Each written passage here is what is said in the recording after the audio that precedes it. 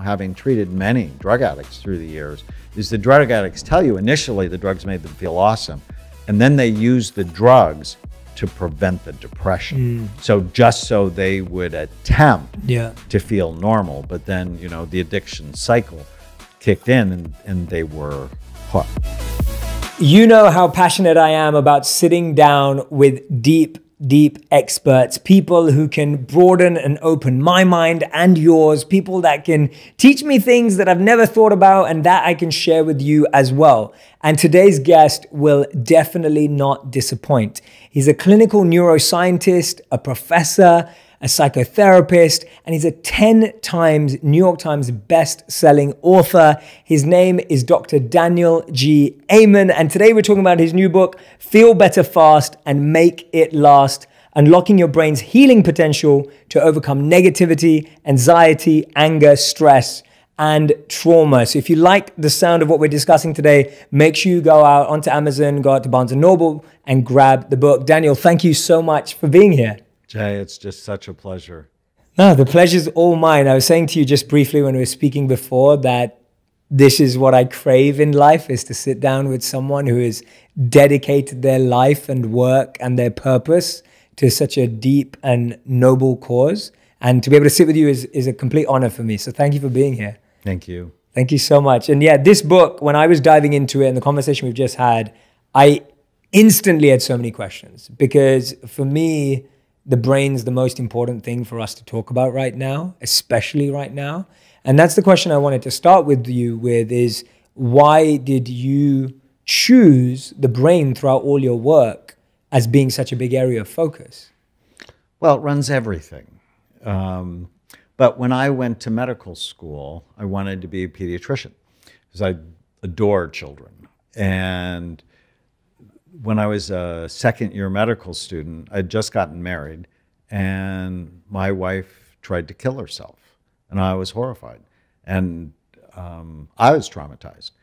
And I took her to see a wonderful psychiatrist. And I came to realize if he helped her, which he did, it wouldn't just help her, that it would help me, it would help our children, it would help our grandchildren. And so, nearly 40 years ago, I decided to be a psychiatrist, and I have loved it every single day. But I joined the only medical profession that never looks at the organ it treats. And before I went to medical school, I was in the Army. I was an infantry medic, and I got myself retrained as an x ray technician and developed a passion for imaging. And our professors used to always say, How do you know unless you look? How do you know unless you look? And now I'm a psychiatrist, and we're not looking. And I'm an agitator. My father, um, growing up, he called me a maverick. And to him, that was not a good thing. um, but I got it from him. His favorite words growing up, when I was growing up, the first favorite word was bullshit. And the second, his favorite word was no. Everything was bullshit or no. So obviously, I got it from him. and and I loved being a psychiatrist, but I'm like, well, why don't we look at the brain? Because obviously, the brain is our organ. The brain you know, is involved in how you think, how you feel, how you act, how you get along with other people. It's the organ of intelligence, creativity, and every single decision you make. And um, with my x ray background, I'm like, we should look. And so in the late 1980s, I started looking at the brain with a study called, called quantitative EEG. And it was fascinating that I could see underlying patterns for things like depression and ADHD and autism. But in 1991, I went to a lecture on brain SPECT imaging. SPECT is a nuclear medicine study that looks at blood flow and activity, and it rocked my world. Um, let me take a little detour. Please. So, how do addictions start? Um, let's take gambling addiction addictions start with a big win, right? Either cocaine, you're like, whoa, I've never felt like that before. I want to feel like that again. Or with gambling, you win the whole jackpot and dopamine floods the pleasure centers of your brain. And you're like, oh, whoa, I want that again. Well, I'd been a psychiatrist for nearly 10 years when I ordered my first SPECT scan. My first 10 cases were big wins because I went into this profession to get people well because I knew the pain of when you're not well from a suicide attempt from my first wife and then the, the level of emotional and personal pain that brought to me. Of course. Um, and so as patients got better, um, because I had more information, I'm like, I have to do this again. Well, today we have 150,000 scans that we've done on patients from 120 countries. So I'm completely addicted. Because, um, you know, if you don't look, you don't know. Mm. And we need to stop lying about that. But wholesale across the US, really across the world, you'll go to your doctor, you say, I'm depressed, I'm anxious, I can't sleep, I have temper problems, I'm obsessiveness. And within a 20 minute office visit, you leave with prescriptions mm-hmm. for anxiety, depression, sleep, and that's insane. When no one has looked at your brain, so you don't know does it work too hard or not hard enough? Is it toxic from drug abuse or from mold in your home? Or is it traumatic because you played a contact sport and it damaged your frontal lobes? And so I have been on this crusade, really, um, to change psychiatry because we should act like our other medical colleagues and look at what we do before we do it. But along the way, I learned big lessons like first do no harm, that some of our medications are actually not that great mm. for you that there are natural ways to heal the brain. And oh, by the way, you got to get your heart right. You got to get your gut right. You got to get your kidneys right. You got to get your liver right in order for your brain to be right. Because when your brain works right, you work right. Mm, absolutely. No, I couldn't agree with you more. And it was actually fascinating. Just earlier this week, I was speaking to Naveen Jain on the podcast as well. And I don't know if you've come across Naveen, etc. I should definitely connect you both. He feels very closely with the way you do around having a crusade around modern medicine and what's supplied and how it's just prescribed to anyone and everyone without actually knowing anyone's gut, brain, or any other health. So I should definitely connect you. You've just sparked an idea. But I want I want to ask you before we dive into, and I know everyone listening and watching, you're probably thinking like I am, oh my God, we cannot wait for this because you can give us so many practical tips. But before we do that, I want to ask you more of a, I guess, a conscious question around what is the difference between the brain and the mind and, and what are the mistakes we make when talking about the mind versus understanding the brain? The mind comes from the brain. If your brain is damaged, it damages your mind. And without a brain, you don't have a mind. Um, now, you can train the brain so that you have a healthier mind. But let me just tell you a story, mm. since I know that's what you love is stories. Absolutely. Storytelling. Um, there was this couple that were in marital therapy, and they went for three years, spent about $20,000, and at the end, the therapist flunked them, told them to get divorced. And um, they were very unhappy that they had failed and so they got mad at the therapist, and the therapist said, Well, I know a doctor in Costa Mesa, California, that takes care of really difficult people. You should go see him. and, you know, as part of our process, we scan people, we do SPECT. And the wife had a pretty healthy brain. The husband had a moth eaten brain. It was really low in activity. It's a pattern we usually see with alcoholism or drug abuse. But in his history, he said he never used drugs and he didn't drink. Now, the first thing you learn about drug addicts is they lie. So, in front of his wife, I'm like, well, is that true? You don't drink and you've never done drugs. And he said, Dr. Amen, that's not my problem. I've never drank and I've never done drugs. And then I looked to his wife and I said, Is he telling me the truth? And she said, Oh, yes, Dr. Amen, he doesn't drink. As far as I know, he's never done drugs. He's just an asshole. I started laughing. Can you imagine that? But in my head, I'm like, why does his brain look so bad? Mm. And so I thought about, well, what are the different options? Drugs, alcohol? Well, probably not if your wife who doesn't like you mm. says no. Um, an environmental toxin, anoxia, lack of oxygen, an infection, severe anemia, or hormone disruptions. And so my next question to him is, Where do you work? He said, I work in a furniture factory. Hmm.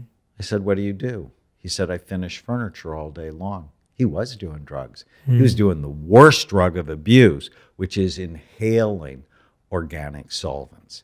And I'm like, Do you wear a mask? He said, No, they tell me I should. And I'm thinking to myself, I don't say it because I have good frontal lobe function. I'm thinking that is not the sign of intelligent life.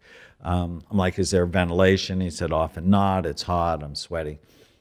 And I looked to his wife and I said, So when did he become an asshole? And she said, What do you mean? I said, Did you marry him that way? Do you have father issues you're trying to work out? And she said, No. When we dated, and for the first three years, he was great. It was about five years ago. And then the light went on in her head. About the time he got this job, his behavior started to change. Do you think it could be related? Of course, course, it could yeah. be related. And I love this shift. That's what the scans do. Mm. They shift from he's an asshole. And actually, his therapist gave him that same diagnosis. Now, you can't write asshole in the chart. Absolutely. So, what you write is mixed personality disorder with narcissistic and antisocial features. What's that? You're an asshole, right? It's just- you can't. It's not a billing code, right? And um, that shift was so important because play this out with me. He's angry. He's depressed. Um, he's so he's mad and he's sad. If they did what the therapist recommended, which was get divorced, now he, it's going to be like his skin is being ripped off scales. because this is the love of his life. He just can't act in a consistent way. What is the organ of acting? It's your brain, right? And his brain is damaged. And so, if they would have gotten divorced, he very well have, could have killed himself. And as many people do, he also could have killed his wife and his children, mm-hmm. right? So, this is the consequence of not looking. But once we looked, she shifted and she's like, Do you mean in his attempt to be a good husband, going to work, supporting the family, that he's being poisoned and that he's sick and he's not bad? Mm-hmm. Exactly. And so we took him out of work, worked on rehabilitating his brain, which is one of my favorite things to do, is taking bad brains and making them better. Um, and years later, they're still married. They love each other. He's much better. And she's not as stressed because when you live with someone whose brain is damaged, you become damaged as well. Absolutely. Wow, that's incredible. So how I guess my my my follow-up question to that is how many of us are living with someone who has a damaged brain? How many of us, me sitting right here, like how many of us have a brain that is somewhat damaged and what are the mistakes we make when we're trying to heal that in our everyday life? And and the first mistake we make is we don't care about it, that we don't love it. So when I started doing SPECT in 1991, I scanned everybody I knew. I scanned uh, my sisters. I have five of them. Pray for me. I want you I to scan scanned- scan me one day. I, I want to. Yeah, I'd love that. Um, I scan, and then I scanned my mom, and she had at 60 a perfect brain. Um, in fact, she was our resident model of a perfect brain. Um, and it fit she this- must have loved that. It fit the story of her life. Even at 87, she has 48 grandchildren, great grandchildren. She knows everybody's birthday. She's everybody's best friend. Uh, She's just a phenomenal human being. And then I scanned my brain, and I didn't like it because I played football in high school, and I had meningitis when I was a young soldier. And that just really pissed me off that my 60 year old mother had a better looking brain than I did. And so I developed a concept then called brain envy. I wanted a better brain. I wanted a brain that looked like hers. And, you know, as a psychiatrist um, or as a trained psychiatrist, you have to, of course, read Freud. And he mm-hmm. had this concept of penis envy. And Absolutely, in 40 years, I've like not seen one case. The only time I've seen a case of it is when I was at, on Broadway a few weeks ago, and at intermission I saw the long line at the women's bathroom and no line at the men's. And I go, penis envy. There it is, right there. but you know, it's really the, the only organ where size matters is your brain. It's the three pounds of fat between your ears. So the first thing you have to do if you want a better life is you have to start wanting a better brain. And that is critical because that leads, to, I know you, you want for your listeners and viewers tips. Um, we call them tiny habits. We work with um, the Stanford Persuasive Tech Lab on how people change and they make small incremental changes that can make huge differences over time. Mm-hmm. So the first tiny habit we'll talk about, and I actually think this is the most important one. It's whatever you do, whatever you say, whatever you eat, whatever you do, it takes three seconds. You just ask yourself, is this good for my brain or bad for it? And if you can answer that question with intelligence and love, because you do the right thing not because you should, but because you love yourself. Ultimately, doing the right thing is the ultimate act of love. Um, it just works. Mm. Is this good for my brain or bad for it? And if it's bad for it, I don't do it if I care about myself. Mm, you've ruined chocolate for me forever now. No, chocolate's great for your brain. It is, yeah. And we actually make okay sugar-free, dairy-free chocolate. Some and vegans, we make a chocolate coconut bar and they're phenomenal. And what they really are, or because that's not our primary business, it's it's a metaphor for there is no suffering mm. in getting well. Plus, I am um, named after my grandfather, who was a candy maker. I mean, that was his job. Wow. And but he died early because he was also fat and had heart disease. Wow. And I'm not fat and I don't have heart disease because I know it's a risk for me and I don't give in to the behavior making it likely to be so. But you don't have to give up chocolate. In fact, I don't know if you're like me, but I'm very much a creature of habit. Mm-hmm. And me too. So, you know, I have maybe 30 foods I eat. Yeah. And I only want them to love me back. So I only want to be in love with someone or something that loves me back. Isn't that all of us? So yeah. I have. I don't know if you've ever been in a bad relationship. I have. I mean, I yes. to meet your beautiful wife, and um, and one day I hope you meet mine, and, and I adore her. But I've been in bad relationships. Me too. And I'm not doing it anymore. There's just I'm not, um, and I'm damn sure not doing it with food. Yeah. That's too often people say, I love bread, or I love pasta, or I love brownies, I love you know, in fact, I had one woman. We should talk about the Daniel Plan at some point. It's this massive program I did at Saddleback Church. Now thousands of churches around the world do it.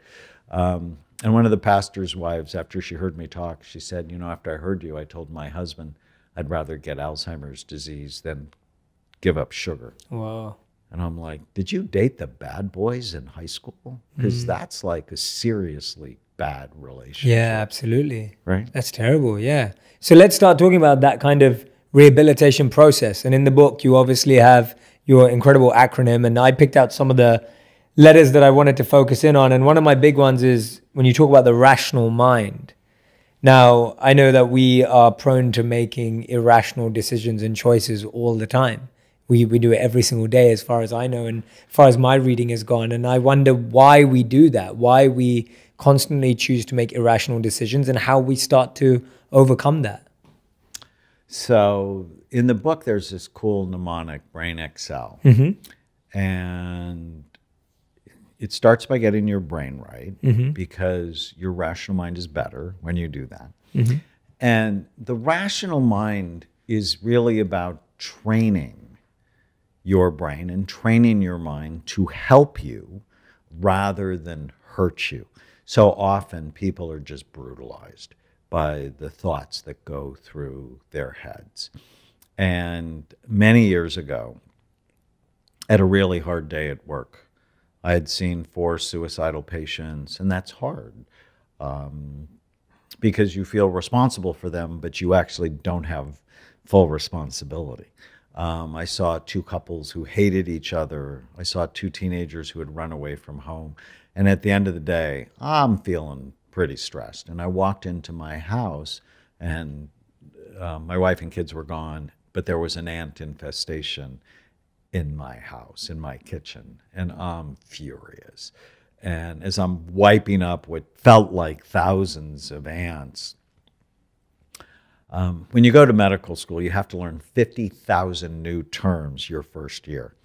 And so you come, you get good at coming up with acronyms and mnemonics. And so I'm always playing with words. Yeah. And as I'm wiping up the ants, I'm thinking, oh, automatic negative thoughts. Um, my patients are infested with ants. And I need to teach them to eradicate the ants. And so the next day at work, I brought a can of ant spray and I put it on the coffee table. And I'm like, we're going to get, I'm going to show you how to get rid of the ants. And over time, that morphed into an anteater and an ant puppet because I also see children. And I taught them how to do it. And it's one of the most important things that I teach anybody how to how to do. You don't have to believe mm. every stupid thing you think. And if you can learn to tell yourself the truth, because this is not positive thinking. I am not a fan Neither of am I. positive thinking. I agree. Positive thinking means, you know, I can go a couple of blocks to Jack in the Box and get four of their big desserts, and it won't have a negative impact on my life. And it won't. positive thinking is I can, you know, fool around on my phone until two o'clock in the morning, and it's not going to have a negative impact on me the next day. People who have low levels of anxiety go to jail and they die early. There's actually a cool longevity study out of Stanford where they looked at 1,548 10 year old children in 1921. And then researchers followed them for 90 years, looking at what goes with health, success, and longevity. And the don't worry, be happy people died the earliest from accidents and preventable illnesses. The people who live the longest, they're conscientious. They told themselves the truth. Hmm. I have taxes to pay. I better pay them or I'm going to be in trouble. Or I said I'm going to show up at two o'clock. I show up at two o'clock. Hmm. So it's conscientiousness, which is really a prefrontal cortex function, right? So you have to have your brain right. But here's the tiny habit whenever you feel sad or mad or nervous or out of control, write down what you're thinking. And then ask yourself, is it true? So those are these three little words I love. Um, and I have a process that I talk about in the book. So a bad thought, like today is going to be hard, is that true? Well, I don't know. And then the second question is, is that absolutely true? No. How do I feel when I believe the thought? Awful. Um, who would I be without the thought? Free. Take the original thought, turn it to its opposite. And what you find, the opposite of what's torturing you is usually true. So it just blows your mind. But if you can learn to be disciplined about questioning your own thoughts, and I got this technique from my friend Byron Katie. She wrote a Oh. brilliant book called Loving What Is. Yeah. It's brilliant. It's sort of a combination of cognitive therapy and Buddhism. And it's I just I love it. Whenever I'm off or I'm sad or I'm stressed, I'll read portions of Loving What Is or listening to it because she read it and she has a beautiful voice. And it's training your mind to help you rather than hurt you. Mm-hmm. Another rational mind technique Yeah, please. is start every day with today is going to be a great day. Why? Because your unconscious mind will find why it's going to be a great day. We are programmed through our evolutionary biology to wake up in fear because our ancestors woke up and the fear was real. Mm. Something was going to eat them, something wanted to hurt them. And so you wake up anxious, but now that's not true mm. for most of us. And if you start with today is going to be a great day, your unconscious mind then begins to find, well, why is it going to be a great day? And for families, it's a great ritual. Hey, honey, today's going to be a great day. And then you begin in your mind to find why it's going to be a great day. It's so easy to find why it's going to be a bad day. Mm-hmm. Um, at the end of the day, I actually do this as a ritual both at dinner and then when I put myself to sleep, is what went well today. And we focus on what went well. Now, we also want to focus on well, what can I learn from today? What could I have done better? Because we're always striving to grow. Um, but when I put myself to sleep at night, I'll say a prayer and then I'll just go back through my day. What went well? Because it actually sets my dreams up to be more positive than negative. Because dreams, there's a purpose for them. It's really we're consolidating memories uh, from what happened that day. And sometimes, because you didn't consolidate them from the past, they get infected by negativity. So, super simple, um, tiny habits that can make a big difference. Yeah, that's a great tiny habit. I think building that, and this is what we find so often, even in the work that I do, that people don't have a conversation with themselves that is conscious.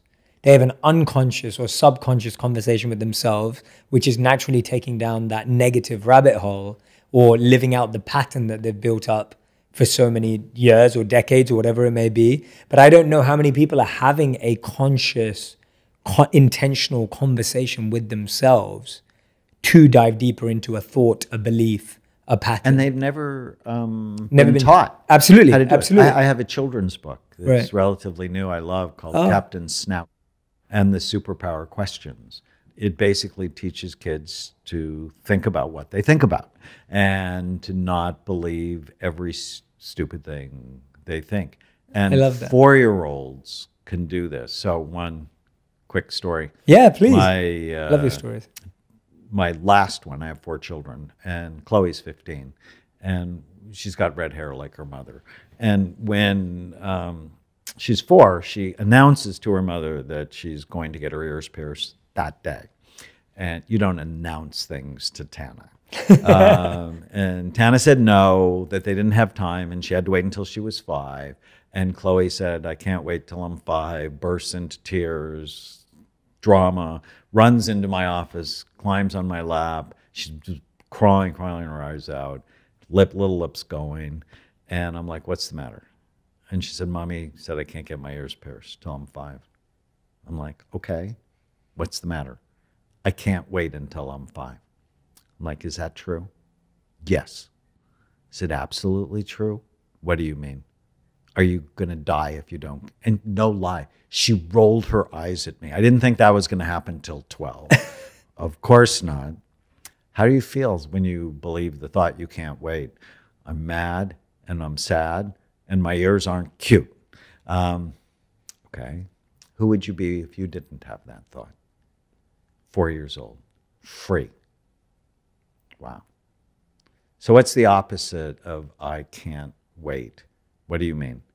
I said, you know, opposites. We just read a book on opposites tall and small and fat and skinny. Um, I can wait until I'm five. And then she got off my lap and went and played with the dog. We could have had drama all day long over the years, or we could just teach ourselves we don't have to believe every stupid thing we think. Wow, I love that. And that's incredible. Uh, The children's book, if you have kids, there you go. What was the name of the children's book again? Captain Snout. Captain and the Snout. superpower question. That's brilliant. I love that. That's incredible. And it's teaching kids how to think about what they think about. That's brilliant. That's amazing. That's something we could all use too. We should start there before this. It would be such a useful technique. That's amazing. Well, I get the that. parents to read it to the children so the parents will get the idea. absolutely absolutely no i think it's you're, you're spot on that we've never been taught these things we can't expect if anyone's listening and watching right now we can't expect to know these things and so we have to look at alternative forms of educating ourselves it's the only way it's absolutely the only way now the next in your mnemonic is about attachment and this one fascinates me a lot because when i lived as a monk we focused so much on detachment and detachment was Yeah, I've never, I've never got that quite down. Yeah. is I'm totally attached to my wife, to my work, how Yeah. the book does. You know, I, I want to not be attached to how the book does, but I totally am. Right. Um, and Well, thank you I've- for being honest with us and yourself. I've written 13 public television specials. They've aired 100,000 times across North America. And I'm sort of attached to how they turn out. But attachment causes suffering.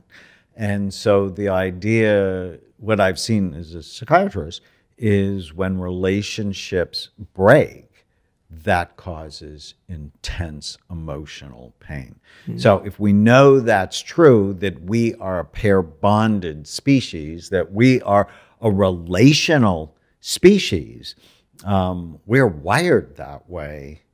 Well, you need to know how to take care of them.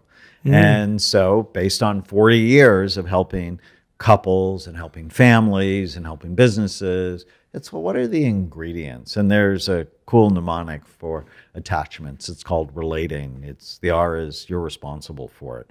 So you're 100% responsible for that relationship. What is it you can do today to make it better?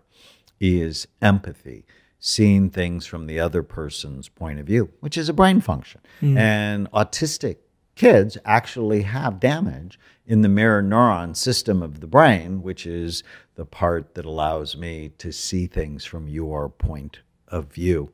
L is listening, something parents are generally not very good at. And so I teach them this technique called active listening. So powerful. Hmm. A is assertiveness. T is time, actual physical time. Um, I is inquire into the negative thoughts you have. So it's about inquiry. Uh, and is notice what you like more than what you don't. How do they train penguins at SeaWorld? Um, they're not beating them. They're not noticing the negative. They notice what they like. That's how you shape behavior. And G is grace and forgiveness. And Wow. there's a technique on uh, forgiveness that's just so powerful. Because, you know, when you hold on to hurts, the person you're poisoning the most is yourself. And how do we do that now? I know a lot of the people that watch and consume my work really love hearing my perspectives on relationships and dating because online dating has completely changed my generation's approach to love and relationships and modern romance. And on top of all of that, we see this challenge with attachment and avoidance consistently. We have people who are scared of getting attached because they're scared of having their heart broken, so they avoid and play that avoidant role in a relationship. And there are those that go in full throttle and get attached and then get their heart broken. What would be your advice in terms of the best brain approach to building a healthy relationship? Well, it's one, get your brain right. Um, I wrote another book called The Brain in Love, and chapter six is how to have a first date from a neuroscience perspective. Oh, I love how this. you can screen the other person. I'm gonna have to make a video about if this. you're going to be, if, if this person's going to be a good partner or not a good. Can you walk us through it? Um, Bits of it that you can remember? so it's pay attention, be a good listener, learn their family story because they'll tell you about the history of drug and alcohol abuse or physical abuse, violence. Look for attachments and and then watch their habits and know going into it new love is a drug. New love works on the nucleus accumbens or the pleasure centers of your brain and it works just like cocaine. So you have to be suspicious of new love because you're not going to see things clearly for probably 3 or 4 months and so just know that and and be ready for it. Hmm. And when people are telling you about their family history, which I think is such a great example, I, I couldn't agree more with you. When people are telling you about their family history, how is that corresponding or what parallels are drawn between that and then their current habits? What are the kind of things that you're sensing? So let's say someone had uh, a, a childhood where their parents were always arguing or no, not getting along. How would that, how is that seen trends pattern wise to affect people today? Well, people do what their parents did, not what they told how they told them how to be. Yes. And so you just are going to, if they don't work on it, then that's going to be a source of potential pain. Hmm. And, you know, if you're going to have babies together, you really want to understand the history because, you know, things do tend to run in families. Mm-hmm. Now, if you date one of my children for more than four months, I scan you. I'm not kidding about Wow. this. It's sort of like meet the parents, Yeah. but worse. but cooler. This is crazy. I love this. And do you have a scanner at home? Like, is this like? Is there a special no, I, room? I go, like, you haven't seen the clinic. Uh, don't you want to see the clinic? And, you know, my um, oldest daughter married someone whose mother had paranoid schizophrenia and whose father killed himself. Now, did that mean I didn't want her to marry him? No. Mm. But if he had vulnerabilities, I wanted to make sure he was open to taking care of them. Mm. And and he was. And he and I actually he's a professor at Corban College now and we wrote an online high school course called Brain Thrive by 25 where we Wow. teach kids to fall in love with their brain and how to take care Oh, of their wow. brain. So that early scan set up sort of a lifelong partnership for us. In fact, um, you know, I told you about my first wife, and Yeah. she tried to kill herself. I got divorced about 18 years ago, and I told myself if I ever got married again, I'm scanning her before we go to the next level. And when I met Tana, I just loved her right away, and I knew that was cocaine. Yeah. And I'm like, two weeks after I met her, I'm like, you know, you haven't seen the clinic. Do you want to see the clinic? And she was game because she's a neurosurgical ICU nurse and she had a great brain. But by putting brain health toward the center of our relationship, mm. it really helps us Hundred percent. right when Yeah. you're and she grew up in some serious craziness right so i'm not advocating looking for the perfect person because there are very few of them but i knew with her history that she could really deal with a little bit of emdr it's a psychotherapy for past trauma and it was so helpful to her. And we like never fight with each other. Wow. and it's it's awesome but you know if if you go out on a first date with somebody and they have three drinks to manage their anxiety that's a bad sign. Mm. you, you know i know that was sort of in this in the new movie a star is born that was you know part of it.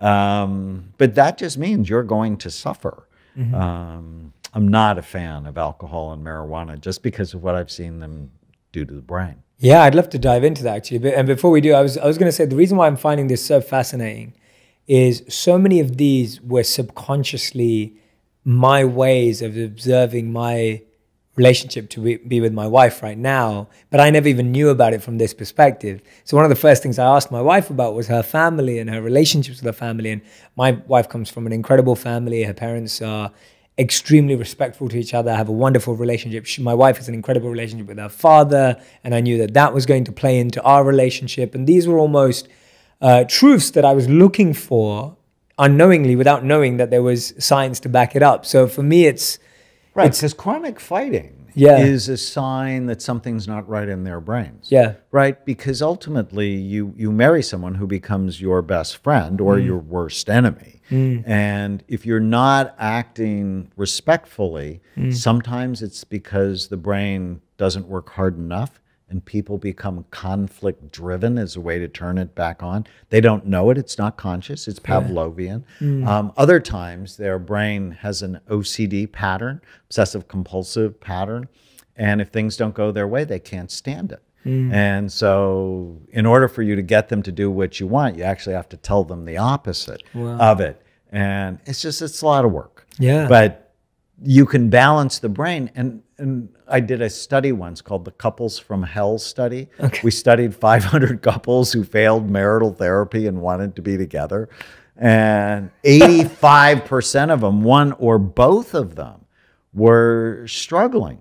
Right? I mean, if, if people just buy this really super simple idea, your brain is involved in everything you do, how you think, how you feel, how you act, how you interact, then why wouldn't a marital therapist, the first thing he or she should do is scan, Scan their brain, brain, and go, is it healthy?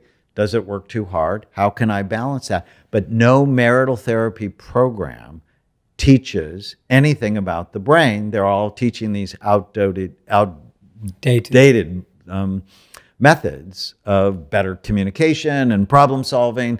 But if you don't have a computer that'll run the software program, it's not going to work. Wow. So we're actually not dealing with the root of the issue at all. We're not dealing with it Yeah. at all. And the issue is always in those four circles, right? There's a biology, a psychology. And so the Brain Excel format, B is biology, the rational mind is psychology, attachments is the social circle, and I or inspiration is the spiritual circle. It's why are you here? Why do you care? And we are wearing out our pleasure centers in the brain by constantly hitting, getting these little dopamine hits from our cell phones, from social media, from um, people screaming at each other on television. And we're wearing out our pleasure centers, which is why depression is so high in our country now. Let's dive into that a bit more. I've I've I've boxed the marijuana and alcohol conversation, which I really want to get onto. I've shelved it for now. We'll bring it back out in a bit. But this is so so important because I think too many people are talking about this and they may not have the actual expertise and the insight that you do. What do you mean by our pleasure centers being worn out? What does that actually mean? And how is that leading to depression? How is that leading to the challenges we see in society? So you have these two areas deep in your brain. They're part of a big group of cells called the basal ganglia, and within them are called the nucleus accumbens. And when you push on them, and you push on them with the neurotransmitter dopamine, you feel good. You know, sort of like the jackpot that I said when I first started doing scans. It's like, I love this. I love it when people get well. I have meaning, I have purpose. My education is working to be benefit uh, these people. Um, well, cocaine does that too. Oh, I love that. Um, pornography can do it. Um, a scary movie can do it. Jumping out of an airplane can do it. And the more you do it, um, the more it begins to wear out your pleasure centers. So it takes more and more in order to get the same response. And so in Feel Better Fast and Make It Last, I talk about the dopamine dump versus the dopamine drip, right? So you want to drip dopamine onto your nucleus accumbens so that way it keeps them stimulated and happy, as opposed to the dump, the scary movie, pornography, cocaine. Um, because if you hit them too often, and interestingly, people who are obese, their nucleus accumbens doesn't react like other people. It's sluggish, it's slow to react than if you're at a healthy weight because those really high calorie, high sugar, high fat foods when it hits it over and over with dopamine, it just begins to wear them out. Wow. So you need more and more Got it. to feel anything at all. And, you know, having treated many drug addicts through the years, is the drug addicts tell you initially the drugs made them feel awesome. And then they use the drugs to prevent the depression. Mm. So just so they would attempt Yeah. to feel normal. But then, you know, the addiction cycle kicked in and, and they were hooked. So you want to always protect your pleasure centers. Mm. And with social media, I did a show with Dr. Oz on Tinder mm. and, you know, swipe left, swipe right. And um, for the person who was getting lots of positive responses, his brain actually looked happier. But many of the other ones, their brain started to look depressed when mm. they weren't getting the response they had hoped for. Yeah, I love that you brought that up. I saw that. I highly recommend it. You can go and check it out with Dr. Oz and uh, Dr. Amen. I highly recommend it. It was brilliant. and and it's so fun to see it because what's the difference then between the dopamine dump, the dopamine drip, and then purpose? Because with you having said what you said, that when you were able to heal people or you saw that breakthrough, we also get it. When I live my purpose and I create some content or I see a breakthrough for someone through the work that I'm doing, what's then the difference between that? You're getting this constant drip that keeps your pleasure centers healthy. Right. Plus, you're not doing anything that's damaging Right. them. I mean, it can keep it going on and on. But say, for example, you're a rock star and you get the high from being on stage over and over again, um, you, you don't feel right because too much dopamine has hit your nucleus accumbens. And I have a prayer for the young stars I see.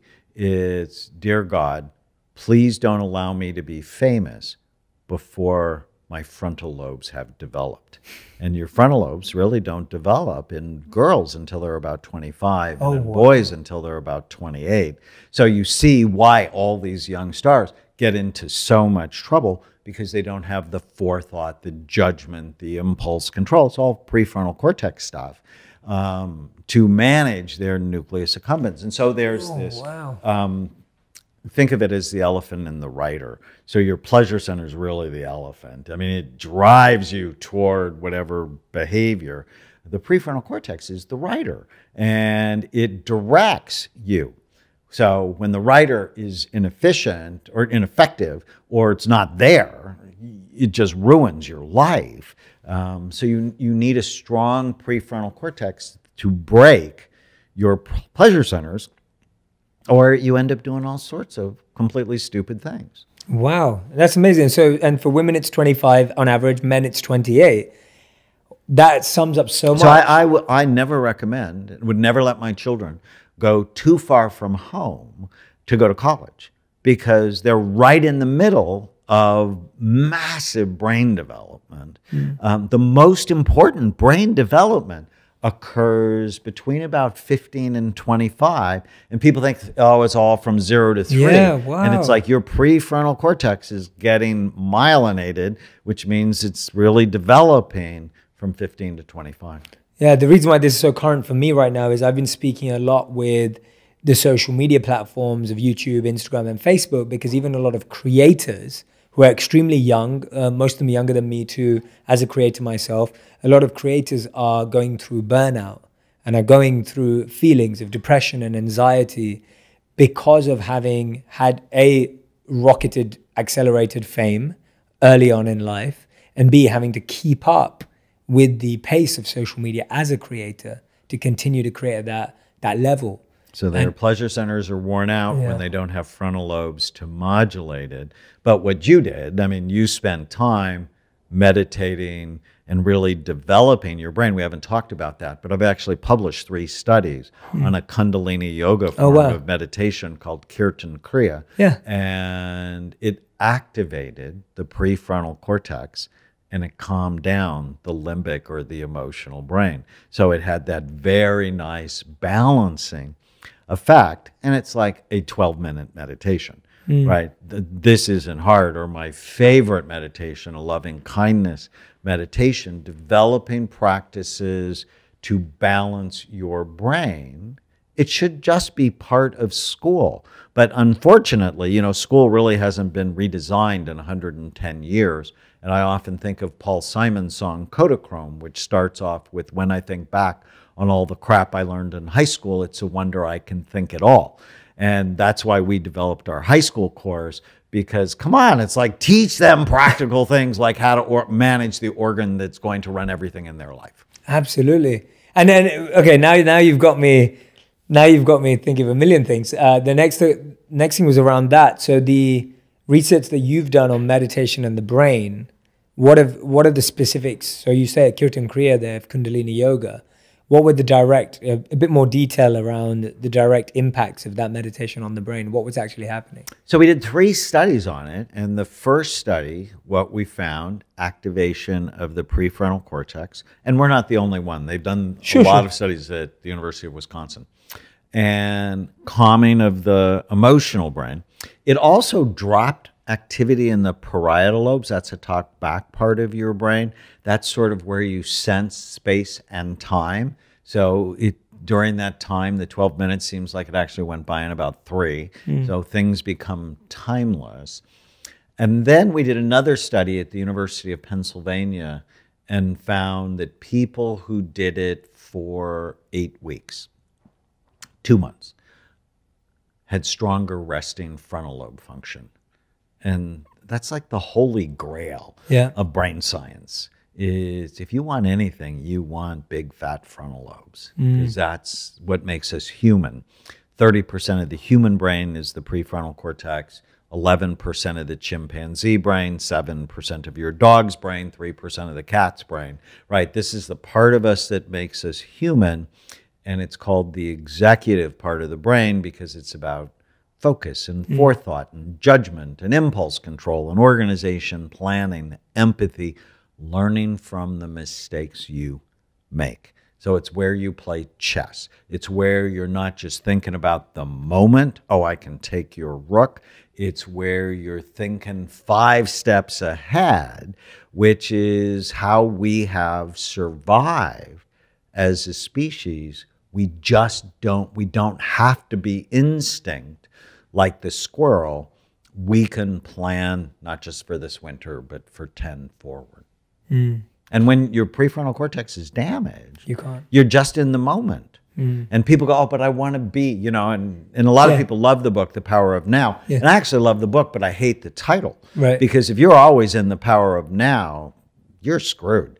Um, because you need to be now and later, which is why the title of the book, Feel Better Fast and Make Make, It, It Last, Last. Yeah. is so important. People are too into feel better now, but not later. Yeah, and let's dive into that too. This is, if you're listening and watching this right now, if you're just listening, you can't see my face. I'm blown away. Uh, I'm I'm in awe because I feel like there's so many cliches are not the right word, but there's so many things that are thrown about in this world right now about these themes and topics, and we take them as reality. But then getting to sit with you, and I almost feel like now I need to go and buy all your books and read all of them, Thank you. Uh, not just this one. That's genuinely how I feel right now. Like I'm about to walk out of here and ask my team to order every single one of your books, and I feel like I have to sit with them for for weeks because. I, I feel like you're giving me such a refreshing perspective on so many things that I feel I know subconsciously, things that I've known without the backing of science. But to hear that from your perspective is, is fascinating. One of the big ones for me is purpose is such a big part of my life. I became a monk because of purpose. I left being a monk because of purpose. I married my wife because of purpose. I do what I'm doing right now with you because of meaning and purpose. Is purpose critical to happiness in life? Or can someone be happy without purpose? You know, they probably can. It's just a heck of a lot easier to With be happy with purpose because we are a relational species. And purpose can take a number of forms. It can be helping other people, it can be developing personal skills. Like I have a ping pong coach because I love playing, it keeps my brain young, it makes me happy. Um, or it can be doing something massively important at work. Um, my favorite book, or at least it's in the top five, is Man's Search for Meaning by Viktor Frankl. Yeah, absolutely. And Me too. he was younger than Freud, but they were competitors in the sense that Freudian psychoanalysis was very powerful in psychiatry. Um, but he developed a kind of therapy around logos therapy or meaning therapy. And I'd so much rather talk to my patients about meaning than their love relationship with their mother, right? That just, it just never went anywhere with me and that whole thing. But getting people into why you want to be well, why are you on the planet? What is your deepest sense of purpose? And too often in the younger generation, nobody's asked them that question. And so now they go, Well, I want to be Jeff Bezos and I want to be the richest person in the world. And as soon as you do that, you will set yourself up to fall, right? And that is one of the origin thoughts of depression. And this is what the bad part of social media it's you start comparing yourself to people that are actually not completely real. And because you can't live up, you feel less than and then that drives depression along with oh by the way you're eating crap. You have low vitamin d level. Your hormones aren't good because of the toxins your mother toxic lotion your mother's put on your body right? I mean it's more complicated than that. But whenever you compare yourself you know i could go well i haven't won a nobel prize so my life is meaningless. Well that's just nuts right uh, the person who won the Nobel Prize in psychiatry did it for prefrontal lobotomies, right? Putting an ice pick up above your eyes and wiping out your frontal lobe. So it's it's not I'm not pining for the Nobel Prize, right? The thing that gives me joy and meaning and purpose is not being better than other people. It's being the best I can be and having the most meaningful existence. I learned that. So when I was in college, I was generally the top student in my class. Um, but I helped everybody else. I was never about, I need to be better than you. I wanted us both to be our best. And oh, by the way, if I helped you study, it's reinforcing the information for me. So Hans Selye was a very famous stress researcher, and he, it's a term he called egoistic altruism. It's mean when I help you, I'm also helping me. Yeah, absolutely. And and is there such a thing in the brain as completely selfless altruism? Like, does the opposite of that exist? And what does that feel and look like? You know, I don't know. I yeah. always there's a phrase I say often is we're all out for ourselves. Mm-hmm. It's just the more sophisticated you are, the harder it is to tell. I recently adopted um, my two nieces got taken by Child Protective Services in Oregon into foster care, which sent me. I know you talked about vulnerability. Mm. It sent me into a panic, and I'm like, no, I'm not okay with this. But my wife grew up in a home where there was a lot of addiction. So I'm rescuing the kids, and she's like, no, I don't want to be part of that world. And so it was one of our very few fights. And so what we agreed to do was wrap services around their mother, my wife's half sister. And then within five months, the kids were out of foster care, and now we care for them. And people go, oh, well, that's so kind of you. And it is kind. But it's awesome for me. Yeah. Right? When I see their report cards and they're getting straight A's, when I see them fall in love with their brains, that turns on the dopamine dripping to my nucleus accumbens and you know i see them do a ward yes okay. So that's a dopamine dump but you don't want too many of them right? And it's it's meaningful it's purposeful but it's a huge blessing. Mm. Mm. absolutely. Yeah so yeah that one's i'm always fascinated by is is you know what is selflessness and what is the definition of selflessness because I actually don't think it's I don't think it's bad as and I think you agree from what you just said. I don't think it's bad to want to do good for others and and feel good about it. But almost we sometimes look at that in a negative way and say, "Oh well, you're only doing it to help yourself." Well, but you know, there are always negative people, yeah. and you know, I think CNN and Fox have done more to promote mental illness um, with the constant negativity, fighting, mm. um, looking for something to be wrong. And then they train the minds of the millions of people who watch mm. to look for what is wrong, mm. which is a bad mental discipline, mm. rather than looking for what is mm. right. Mm. Absolutely. Absolutely. I want to go back and pick up off the shelf the exciting topic you brought up because I thought, oh yeah, let's talk about that because I I have some very similar views to you, but I want to hear your perspective around marijuana and alcohol, specifically marijuana. We're in LA right now, and obviously it's legalized and pot dispensaries. Absolutely. Lots of corners. You can go, yeah, you can go. It's Get an Uber as quick as you can go horrifying. to dispensary. Um, so I have no dog in this fight. Mm-hmm. Um, in fact, I make more money if you smoke pot than if you don't smoke pot. Mm-hmm. You are way more likely to come see me. And people just don't understand the research. They go, oh, well, there's not enough research. No, marijuana increases the risk of psychosis 450% if teenagers start smoking pot. That is not a good thing.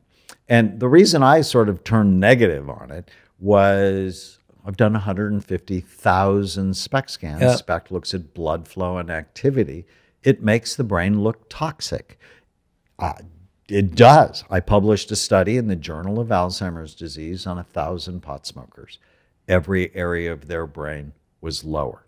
And then just a few months ago, I published the world's largest imaging study on 62,454 scans on how the brain ages. So we looked at the brain from nine months to 105, and it's got fascinating aging patterns like it's not really done until about 25 in girls and 28 in boys. And then we looked, well, what are the factors that accelerate aging? On the top of the list was schizophrenia. If you have schizophrenia, your brain looks worse than everybody else. The second worst thing was marijuana. It was worse than smoking. It was worse than alcohol. I'm not a fan. Um, and um, I see so many people go, but I feel better. I mm. concentrate better. I'm more creative. And I'm like, there's so many other ways to do it that don't have a potentially toxic impact on your brain. Mm. Now, having said that, I'm a huge fan and I think it should be legal. You're really going to put potheads in jail? You're going to sleep deprive them, chronically stress them, let them hang out with people who do bad things. That's insane.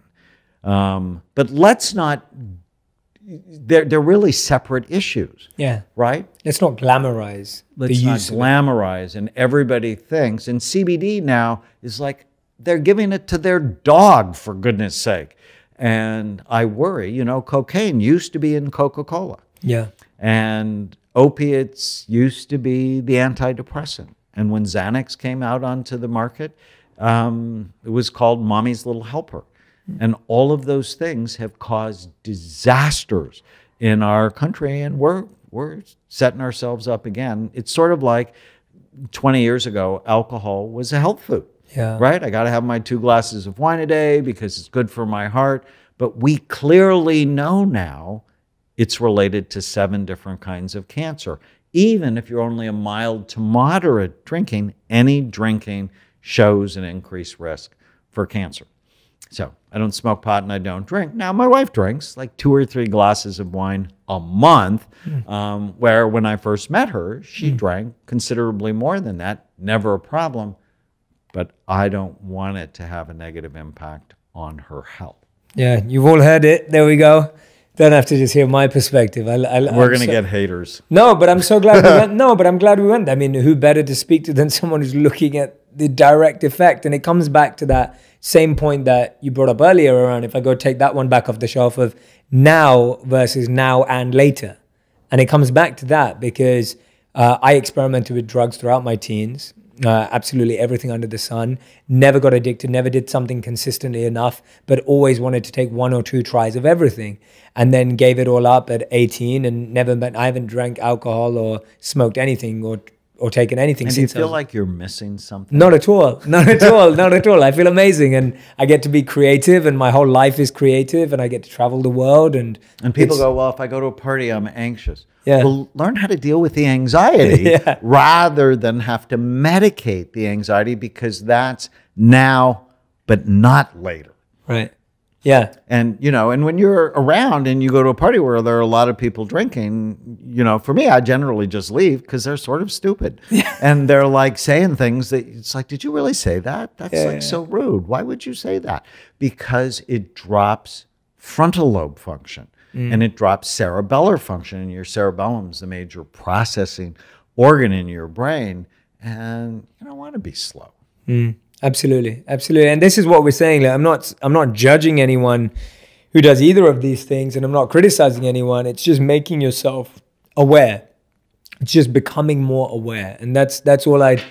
That's why I asked the question, not to judge anyone, not to criticize anyone, not because I think I'm better than anyone for not having done it, just to be aware. And when I was young, the thing that made me become aware was my friend and I went to see his aunt who happened to be a heroin addict and she had a fit in front of us.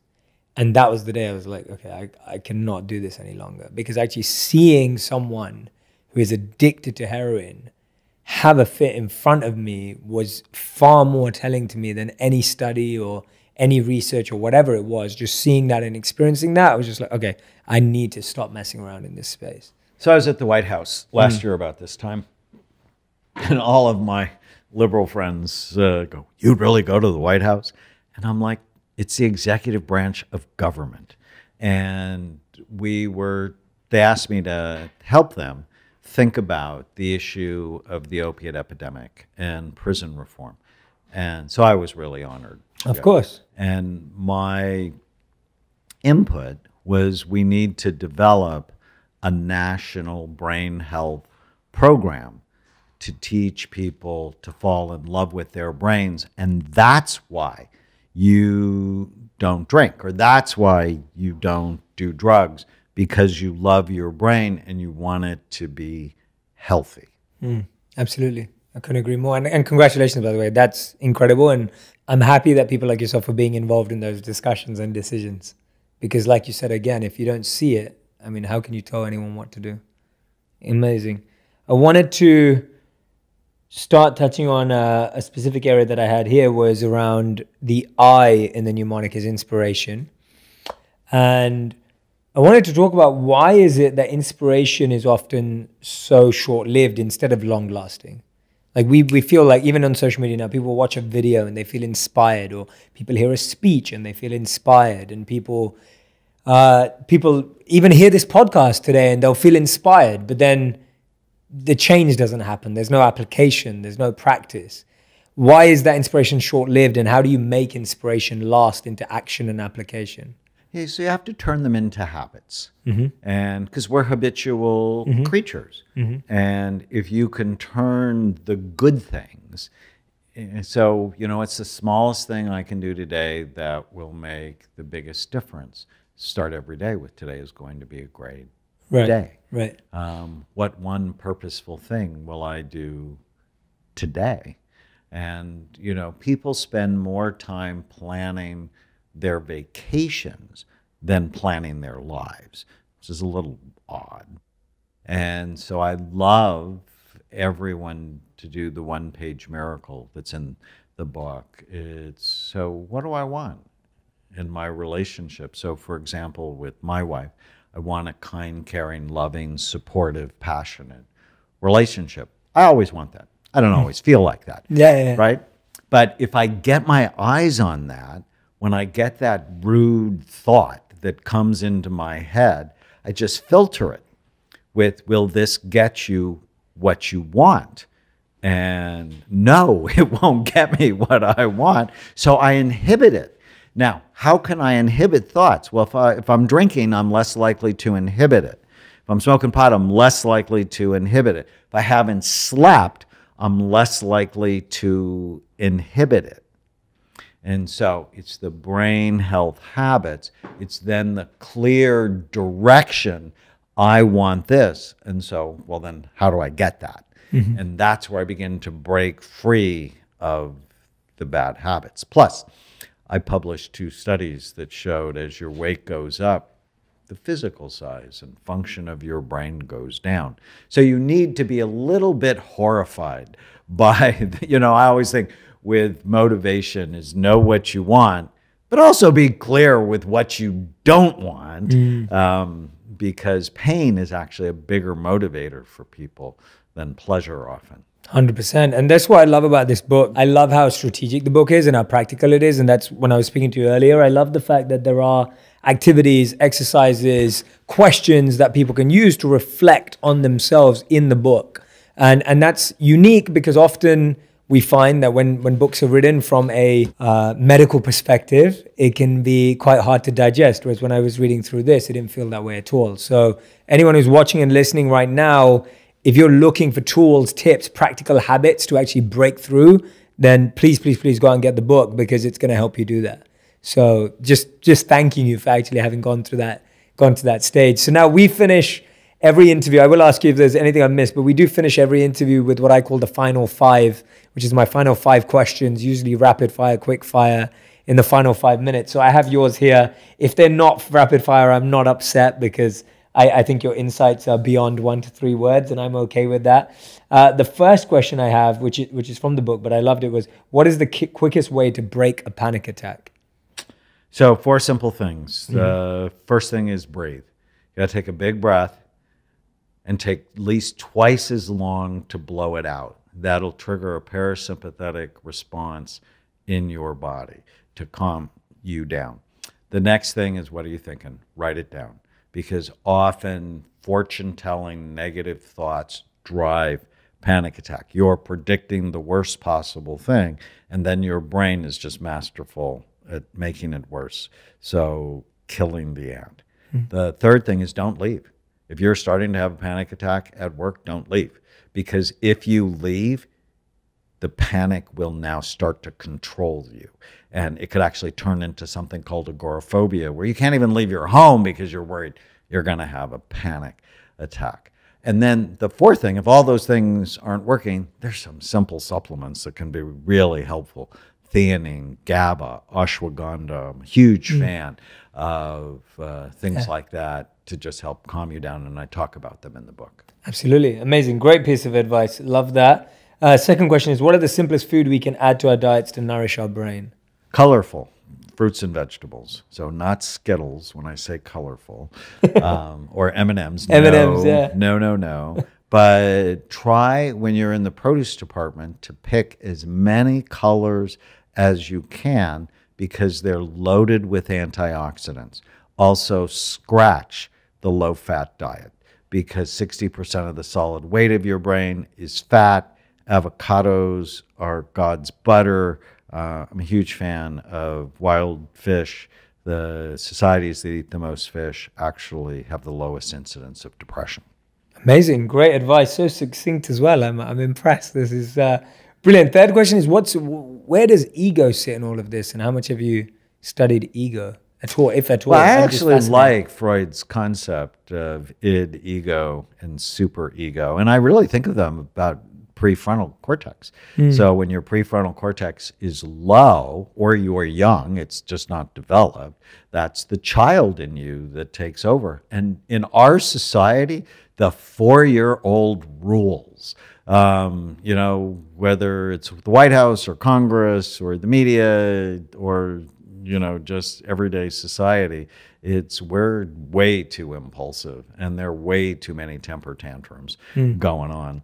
Um, the ego is really healthy frontal lobe function. Um, so you're 28 or 40 and you're good to your brain and it helps you make good decisions and be thoughtful.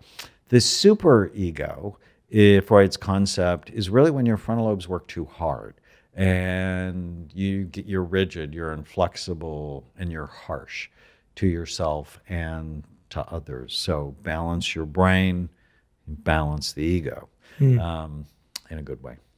Brilliant. Question number four. You brought it up slightly earlier. What's your best advice for anyone who has party anxiety or social anxiety in those kind of circles? So it's so common. It's actually one of the most common anxieties on the planet. And it's why people drink. Mm-hmm. It's why people do drugs because they feel uncomfortable around other people. And, and I think you'll like this learning how to manage your anxiety through things like hypnosis, guided imagery, meditation. It just should be part of everything we do, mm. along with learning how to not believe every stupid thought you have. In the book, I have one of my favorite rules. It's called the 1840 60 rule, which says when you're 18, you worry about what everybody's thinking of you. And when you're 40, you don't give a damn what anybody thinks about you. And when you're 60, you realize nobody has been thinking about you at all. People spend their days worrying and thinking about themselves, not you. So it's really hard for my paranoid schizophrenics to get this concept because they think the whole world revolves around them. And It, it just doesn't. Mm. And if you can get it, that a negative look from someone else may mean nothing more than they are constipated. You don't know. Mm. And other people are anxious too. And so often, if you're at a party and you're feeling anxious, go, you know, I just feel anxious sometimes, you know, and the other person's likely to go, oh, you know, I'm that way too. And then all of a sudden, everybody's anxiety goes down. When you believe you have to present yourself as that perfect person, nobody can relate to you because nobody's perfect. Yeah, so true. That's a great piece of advice. As long as soon as you open up and say, "Hey, I'm I'm struggling with this," someone else has the permission to say that too. Absolutely, I love that. And fifth, and final question was actually all around what we spoke about before, which was about what I'm fascinated by you and when we spoke earlier as well is your ability to bring together science and spirituality, your ability to understand both dimensions and and both approaches to understanding our human selves and condition. And you spoke about earlier, we were talking about death. And and I'd love for you to reiterate that story that we were speaking about earlier and just elaborate more on on what you have found in terms of all your studies, etc., through spirituality coming out. We are all spiritual beings. And as a psychiatrist, if I don't understand your deepest sense of meaning and purpose, why you believe you're on the planet, and what happens to your soul after you die, um, then I don't really understand all of you, which is my goal.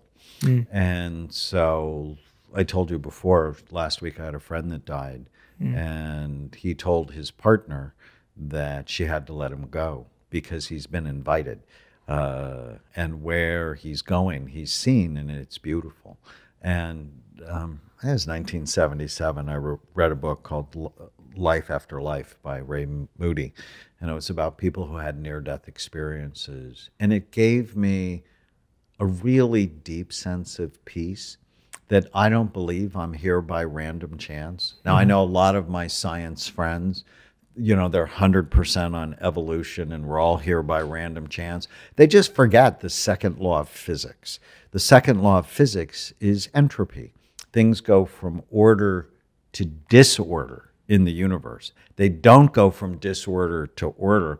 And i'm sorry i have a brand new granddaughter and i don't think haven's here by random chance. It just it makes i think it actually takes more faith to believe we're here without any creative design or intelligent design um, than to believe that our interaction today happened out of randomness. Mm, I love that perspective. It definitely, in my sense, is to think things are undesigned is actually generally pushing our faith much further.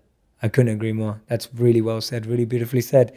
Daniel, it's been absolutely incredible. I've learned so much today. I genuinely mean this, and I'm not lying. As soon as I walk out of this room, I'm going to ask my team to order every single one of your books. I feel like I'm going to dive deep into all of them, and I feel like I want to continue the conversation offline and back on the podcast anytime you like because I can only think that anyone who's watched and listened to this today has been benefited in some way. And I know that when they go and buy the book, they'll be benefited in an even bigger way. So I highly, highly recommend it. Is there anything that I haven't touched on that you really feel like I should have asked you, could have asked you, would have asked you, and and you'd like to touch on? You, you, know, the only, well, two things. Yeah, um, let's do it. Um, I finished the book with a chapter on love. Mm. That you don't do the right thing because you should.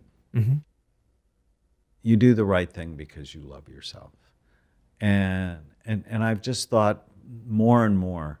Um, one of my other books is called The Brain Warrior's Way because uh, my wife and I wrote it together, and we just believe we're in a war for the health of our brain. Alzheimer's is expected to triple. Um, 36% of teenage girls suffer from depression. Um, that if you love yourself and you love your planet and you love your country and you love your world, that ultimately doing the right thing is not because you should do it, but because of love. Mm-hmm. And if you do it out of love, it's just so much easier mm-hmm. to do. Um, the other thing, just to touch on for a second, is can I, before we to, get it, is there another thing separate? Is that different to what? Can we go into the one you just mentioned because I'm fascinated by it too. In in the Vedas that I studied as a monk, it talks about the three types of motivation, and and the lowest motivation is ignorance or fear. Uh, the middle motivation is duty or obligation or responsibility or because you have to, and the highest uh, motivation is love, as as you rightly said. So I couldn't agree more. Do you think though that that begs the question that the biggest challenge we all have is that we don't love ourselves, like we don't love our brain, like we we just we're so inundated with trying to be that which we're not or letting the opinions of others affect how we are and our self-belief. And that's actually what's affecting our brain health the most is we're not looking at through the lens you're you're recommending and suggesting. I think that's exactly right. Yeah. And you know when i turned 50 my doctor wanted me to have a colonoscopy. I asked him why he didn't want to look at my brain. Wasn't the other end just as important? But we don't screen it, we don't look at it, and ultimately, we don't love it. You can't let a child hit a soccer ball with their head and say you love that child or that child's brain. It's just not possible when you understand the physics of it. And I've hit a lot of soccer balls with my head. me. All of them just flash before my eyes. I love soccer. I'm a huge, huge football fan. So, yeah. Okay. So if and I tell Yeah. because I have done 225 NFL players, I mean Hall of Fame players like Terry Bradshaw, and if you're going to do it, because we're always going to have dangerous jobs, that's a dangerous job. If you're going to do it, you should be putting your brain in a healing environment all the way along, hmm. not just when you retire. See, that's like doesn't make any sense. Sure. Because if you're going to play, and one of my players signed a $42 million contract, so he's going to play, you have to be rehabilitating it Yeah. all along because you'll actually be a better player. Yes, absolutely. And the second thing you were going to go off on, then I stopped you. The second one is we had just uh, began to talk about a book I'm just starting to write called The End of Mental Illness. Yes, let's I'm get into so tired of the stigma attached to mental health problems.